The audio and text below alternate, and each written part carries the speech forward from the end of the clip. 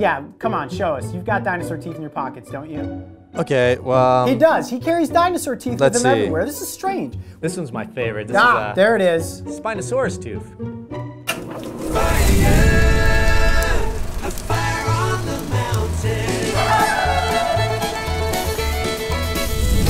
Going on, Coyote Pack, and welcome to another episode of Base Camp. And this one's special because it's all about dinosaurs. Yes, I love dinosaurs. I know you love dinosaurs, and so does Mark, but where's Mark today? I don't know. Wasn't he supposed to be here? Uh, actually, Mark is out on a location scouting trip right now, checking out some top secret new spots for us to film.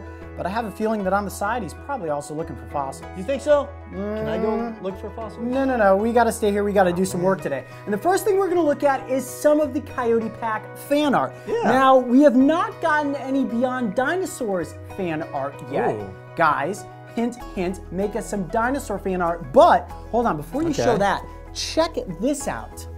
Ooh, You see that?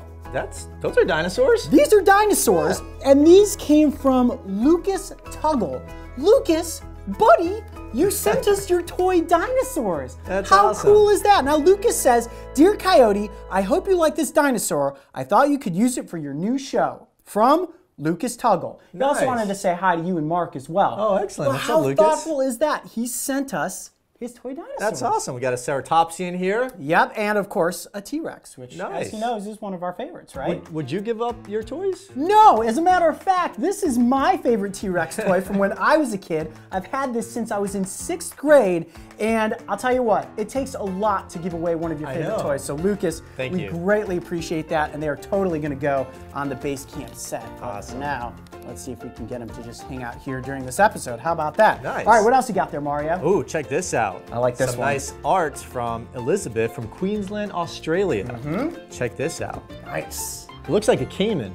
I think it is. Right? You see the little spectacles on Yeah. top there? I'm pretty sure it's a spectacled caiman, but the reason we picked this one is because crocodilians are descendants of the dinosaurs. Yeah, right. It's kind of got that dinosaur theme. Crocodilians look like dinosaurs, right? Right. They've been on the planet for over 240 million years, so they Awesome. lived during the time of the dinosaurs, which seemed fitting, right? Yeah. Well, thank you, Elizabeth. This one's awesome. Yeah, very cool. All right, bring that back over here. This is gonna hang up on the base camp set. Like I said, guys, we don't have any official Beyond Dinosaurs artwork yet, so send it to the P.O. box. And we keep getting messages from the post office. I know Yeah. I've, I mentioned this before. We get these messages like, guys, can you can you rent a different post office box? Can you get another one because it keeps overflowing and they have to put them in those Yeah, bins? it sounds like a them problem. Yeah, that's pretty much what I would say. Guys, make as much fan art as you can and send it to the P.O. Box. Absolutely. That address is in the About section of this video. Awesome. But let's talk dinosaurs. You ready? Of course. I'm always ready to talk dinosaurs. We worked with Pete Larson, Oh, world renowned paleontologist. Mario, how was that? Crazy, right? Well, before we even worked with him, we were pre-production and trying to get in contact with Pete, mm-hmm. right? And I remember the first email I sent out. It's like, "Hey Pete, this is Brave Wilderness. We love what you do. You know, we want to work with you someday." And a few weeks later, we got a response. Right. And I was like, "Coyote, we got Pete."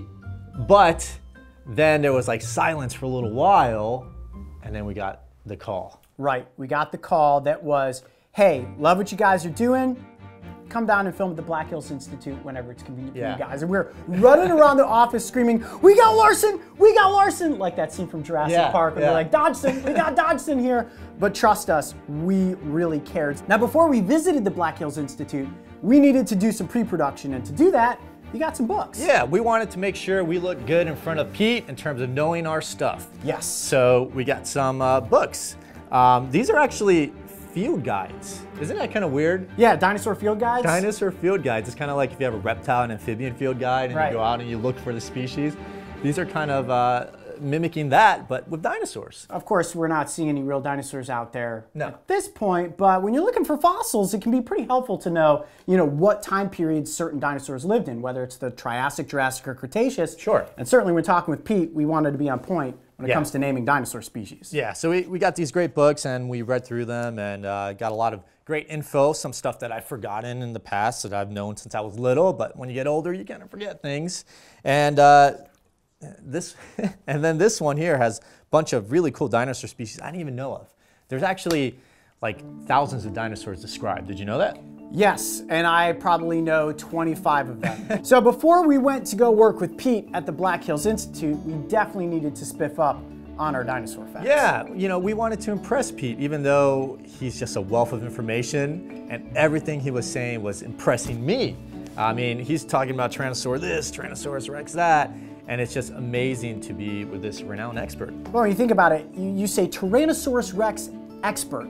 How is anyone a Tyrannosaurus Rex expert? But when you're talking about Pete Larson, of the 40 most important Tyrannosaurus Rex skeletons that have mm-hmm. ever been dug up, Pete has been a part of 10 of those digs, including Sue and Stan. I say that makes you an expert. Yeah, as you guys know, Sue currently resides at the Chicago Field Museum, and Stan is at the Black Hills Institute. And speaking of Stan, we got to hold Stan's biggest tooth. Now, yeah. that was a big part of that episode, me getting to hold that fossil, which, you know, is 67 to 66 million years old. I mean, that dagger, that thing, how many Triceratops had that tooth killed? Right? It's mind boggling. Uh, you know, I, I, got to hold, Mark and I got to hold the mm -hmm. uh, tooth as well. And I, I, I will say I was kind of emotional. Yeah. Right? I mean, we're holding this piece of history prehistoric history and the weight of it and the serrations, everything about it just basically transformed me into a little kid. Yeah. I just felt like I was a little kid absorbing this magnificent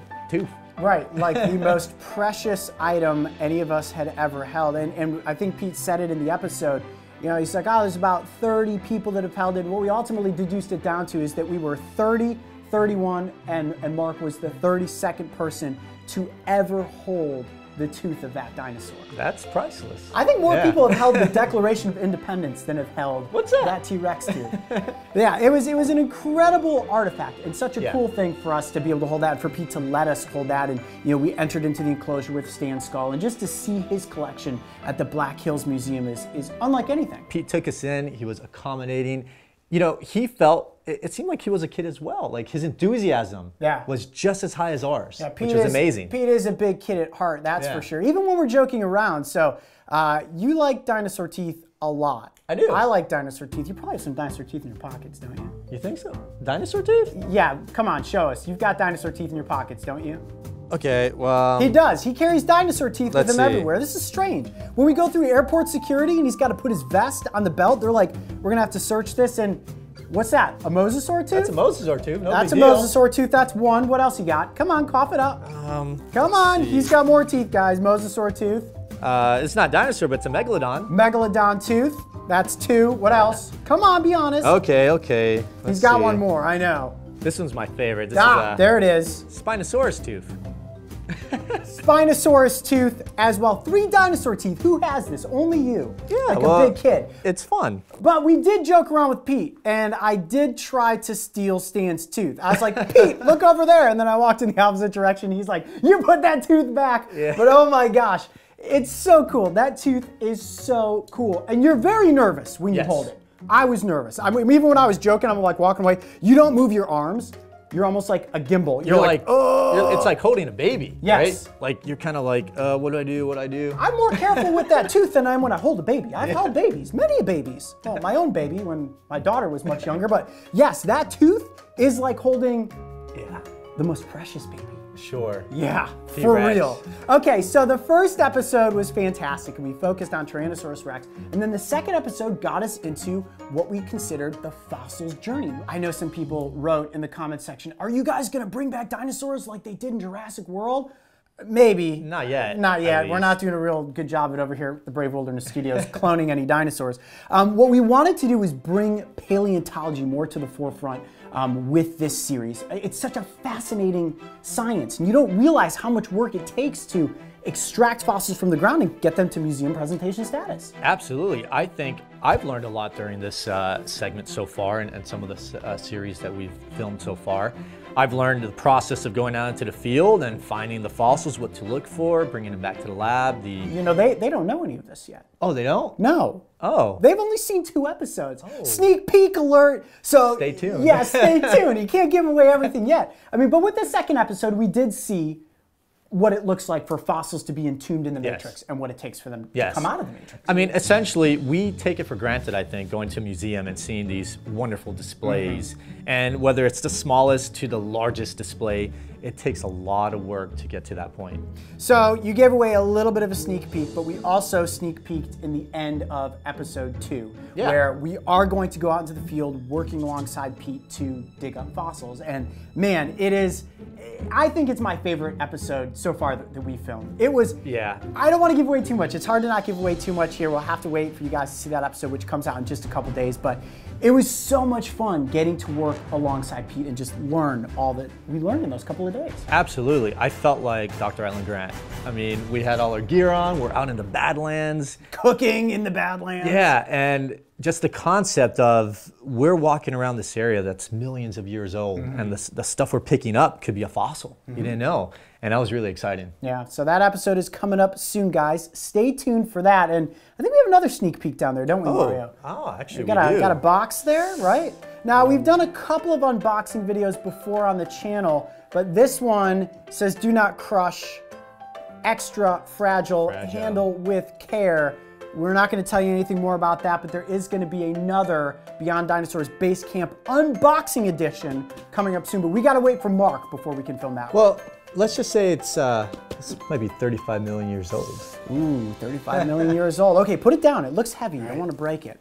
All right, guys. So we've also launched the at Beyond Dinosaurs TV Instagram account. Yes. We've been trying to grow this account. So if you aren't following yet, go follow the Beyond Dinosaurs Here? Instagram account. Yeah, put a little logo of it up there um, because we'll be posting all sorts of cool behind the scene photos, stuff that we're not sharing on the normal Brave Wilderness or Coyote Peterson Yep. social media feeds. Um, some cool behind the scenes videos, cool photos, and all that sort of good stuff. Yeah, you know, we're gonna really have fun with this. I think Coyote and I and, and the crew, our love of dinosaurs since we were younger is is rejuvenated. At least for me. Like I definitely see my childhood um, enthusiasm coming back. Right. And um, you know, the Instagram will be a great platform for us to just have cool dinosaur facts, dinosaur pictures, and you know whatever uh, catches our attention. Which is, it's important to note, guys, that your influence is greatly going to affect the direction of this series. Now, we picked working with Pete Larson to launch the series,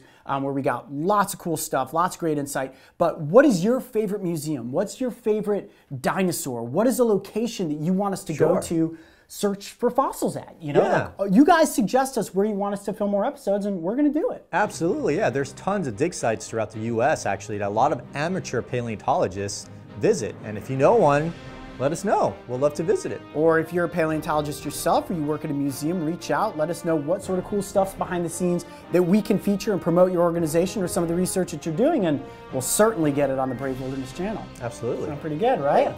All right, guys, so remember, write in the comments section below. Tell us what do you like so far about Beyond Dinosaurs? What more do you want to see? And definitely go follow the Instagram account. I'm Coyote Peterson. I'm Mario Aldecoa. Be brave. Stay wild. We'll see you on the next base camp adventure. We'll play with these dinosaurs. Do you want to become an official member of the Coyote Pack? If so, make sure to pick up your starter kit, which includes the iconic pack tag, adventure guide, and of course, the one and only Brave Crew bracelet. The Coyote Pack starter kit is the best way to show the world that you are one of the pack, and it's available right now. Hey Coyote Pack, if you love dinosaurs, I bet you are excited for the upcoming premiere of Jurassic World Explorers. If you missed the official announcement, make sure to go back and watch the episode where we debut the YouTube World exclusive for Dinosaurs Rule Again. And don't forget, subscribe so you can join me and the crew on our next big adventure.